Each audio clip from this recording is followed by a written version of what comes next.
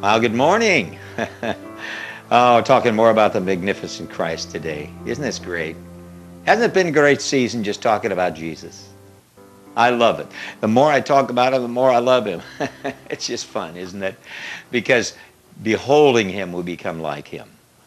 We looked yesterday at the will of God. Jesus always did the will of God. Doing the will of God showed Jesus what to do. Secondly, Jesus always did the works of God. I want to read a verse out of John chapter 12. He says, For I have not spoken of myself, but the Father which sent me, he gave me commandment what I should say and what I should do. And I know that his commandment is eternal life. I speak therefore whatsoever the Father has told me. And whatsoever I do, I do as the Father has shown me. So Jesus always did the Father's works. He didn't claim that they were his works. Jesus is operating under transmitted authority. So it's the works of the Father being performed through him by the power of the Holy Spirit. This gives us hope. So we can function now like Jesus functioned. Remember John chapter 20? Jesus said, Just as a Father sent me, so send I you. We are sent in the very same way that the Father was, or that Jesus was. He's our pattern. Jesus is our pattern for ministry. Let's follow him.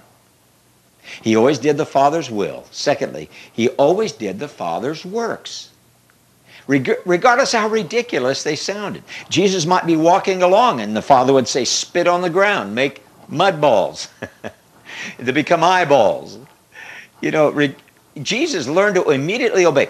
I always say, listen, the most often used word in the book of Luke is the word immediately. You know that Jesus 40 times immediately in the book of Luke, 40 times it says Jesus immediately.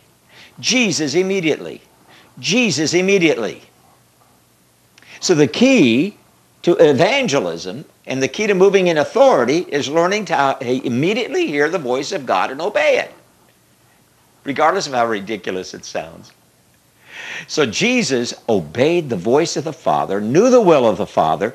Because he knew the will of the Father, he knew what to do, and then he did the works of the Father, which were not his own. It was the Father working through him.